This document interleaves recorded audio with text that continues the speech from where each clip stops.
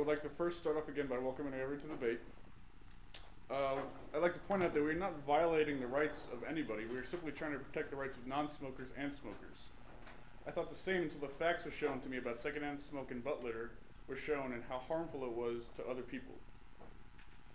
According to the Stanford University Department of S- Statistics, careful scientific studies have shown that concentrations of secondhand tobacco smoke in many outdoor areas are often as high as or higher than in some indoor areas, and that the risks posed by such outdoor exposure are well beyond generally accepted norms when large numbers of people are involuntarily exposed.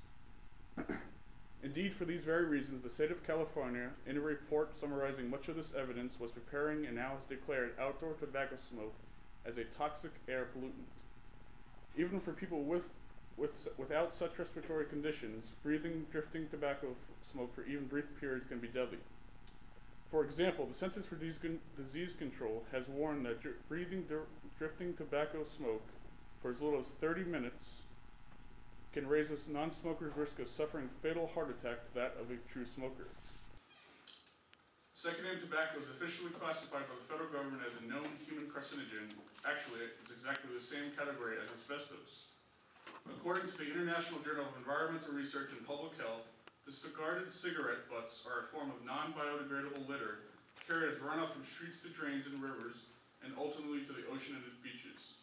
Cigarette filters are the single most collected item in international beach cleanups each year. Cigarette butts discarded by smokers constitute the overwhelming majority of litter on beaches as well as in many other public places.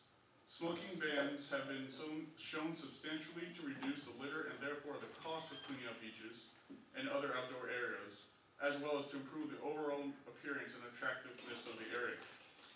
Discarded cigarettes, which are designed to discarded cigarettes, which are designed to continue to burn for several minutes when dropped and not puffed upon, are also a major fire hazard, threatening piers, boardwalks, and wooden structures in parks and beaches. Cigarette fil- filters pose a serious litter and toxic waste disposal problem. Ultraviolet rays from the sun will eventually break the filter into smaller pieces under ideal environmental conditions, but the source material never disappears. It becomes diluted, diluted in the water or the soil, this, in this case the sand. Rather than being a protective health device, cigarette filters are primarily a marketing tool to help save, help sell safe cigarettes. They are perceived by the public, especially to current smokers, to reduce the health risks of smoking through technology.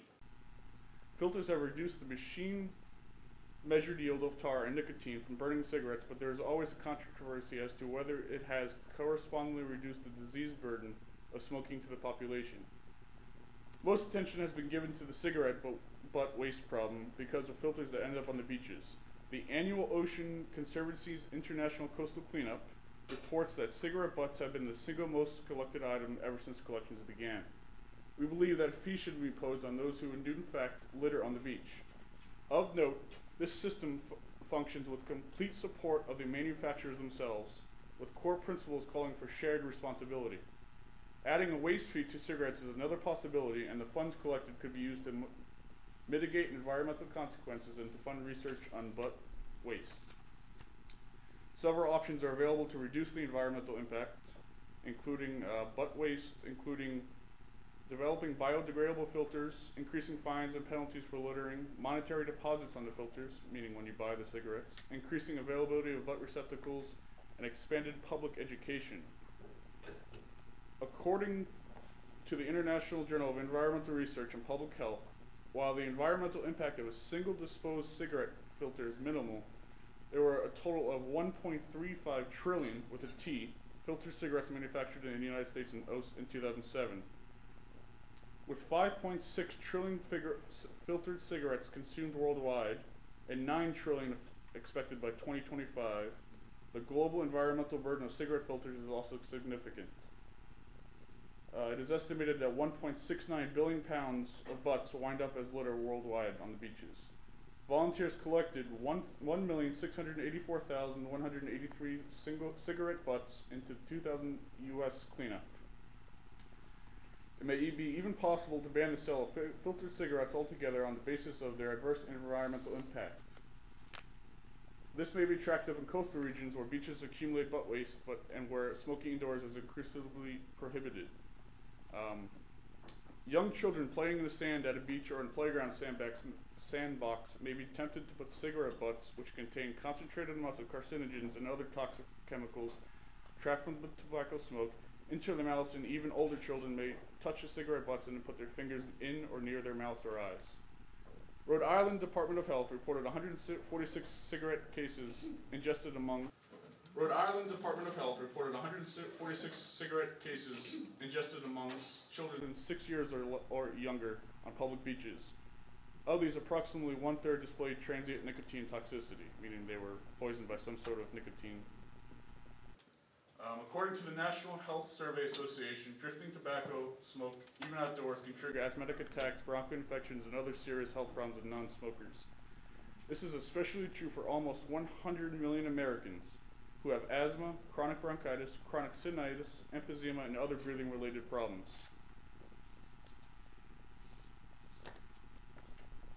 Similarly, cigarettes could be sold with a butt deposit to be refunded when the pack is returned to the vendor with the butts. As with bottles and cans, this could spark both more care on the part of the smokers and provide income to others who retrieve any butts that smokers discard. It would also increase the opportunity of cost smoking, thus perhaps having a salutary effect. In conclusion, the World Health Organization estimates that by 2030, tobacco will account for almost 10 million deaths per year, making it the greatest cause of death worldwide. And whereas deaths from smoking around the world will soon outnumber those from AIDS, tuberculosis, traffic accidents, murder, and suicide combined. I am now open for cross examination.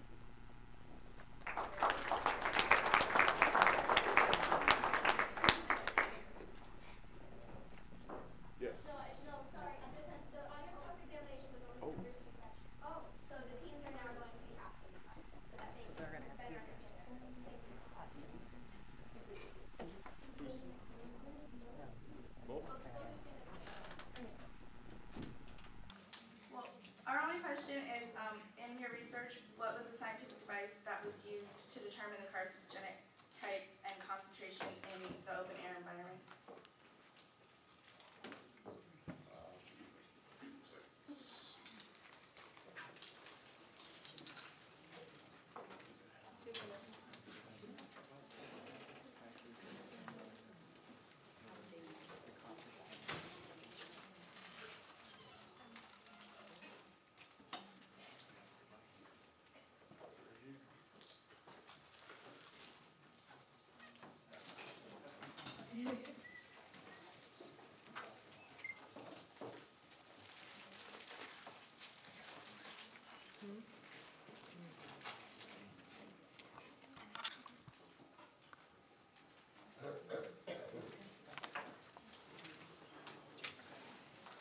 Well, according to the University of Georgia study, they tested the people and not the air, so, um, I don't think the They device. tested before and after.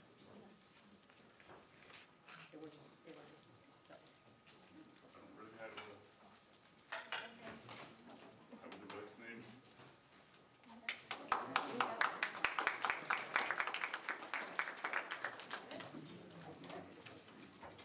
Now we hearing from the second negative.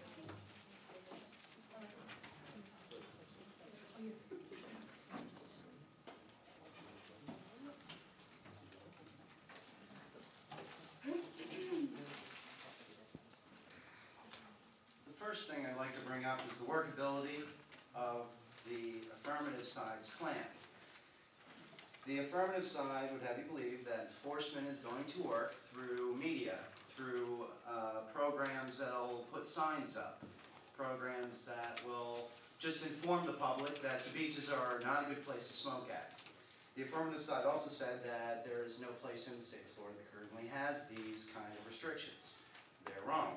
The city of Boca Raton is currently under a no smoking on their public beaches and parks restriction.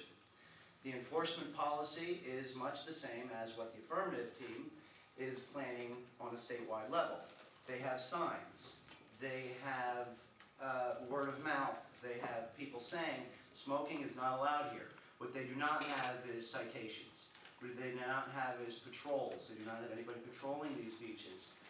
Um, I'm sorry, it's the wrong slide.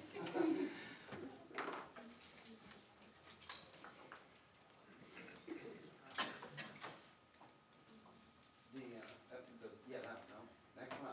And if you could play the audio for me, please. That one Right there. Yeah, this is taken on uh, at Palmetto Park. I mean, right in front of the lifeguard stations, and it was taken about a week and a half ago. My time. Um, while they're setting up, I interviewed one of the lifeguards there, uh, Michael Ann Gunston, she's the lifeguard station twenty. She's been with the city for several years, has never witnessed enforcement of litter or smoking ordinances. She said that the only time it's an issue is when someone complains, and even then, after local law enforcement is notified, response is generally thirty percent.